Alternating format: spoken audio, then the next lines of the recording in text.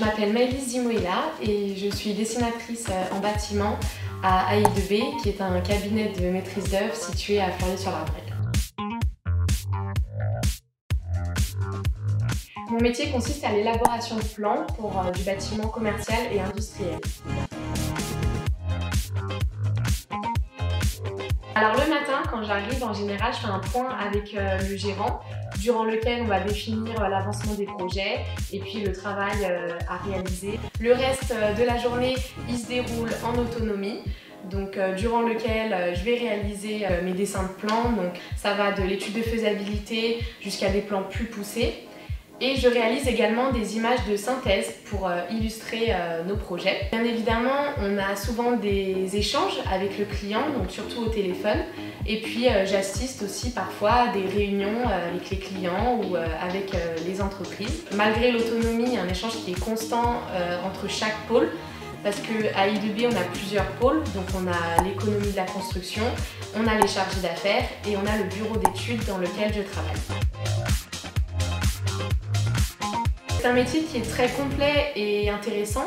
Donc euh, au-delà du domaine du bâtiment, euh, on a aussi une conscience environnementale qui est importante aujourd'hui.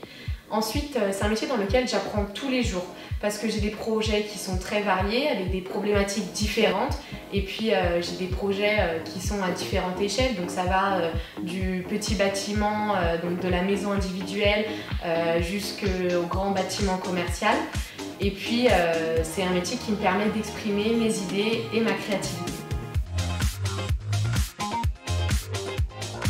C'est peut-être le fait euh, d'être beaucoup au bureau et moins en déplacement.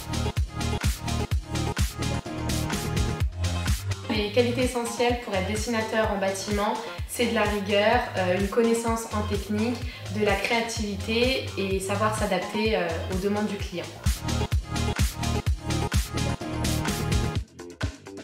J'ai passé euh, un bac S euh, au lycée Germaine-Tillon.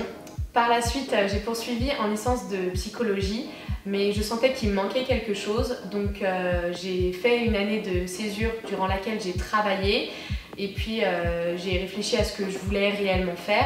Je sentais que j'avais besoin d'exprimer ma créativité, donc euh, du coup, j'ai entamé euh, un bachelor euh, architecture d'intérieur, donc en trois ans et en alternance. Et puis j'ai commencé à travailler il y a quelques semaines après l'obtention de mon diplôme.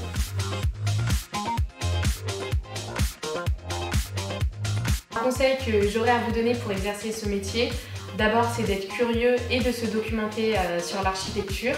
Et puis il faut également s'exercer au dessin parce que euh, c'est un métier dans lequel euh, on dessine beaucoup, manuellement et sur ordinateur. Le milieu du bâtiment, il est accessible à tous et à toutes et il ne faut pas avoir peur euh, de se lancer dedans.